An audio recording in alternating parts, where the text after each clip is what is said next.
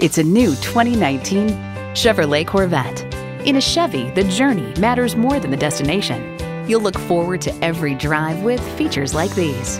Manual transmission, magnetic fluid-filled shocks, dual mode exhaust system, Targa sunroof, integrated navigation system with voice activation, power heated mirrors, front heated and ventilated bucket seats, Bluetooth wireless audio streaming, dual zone climate control, doors and push button start proximity key, and intercooled supercharged V8 engine. There's even more to see in person. Take it for a test drive today.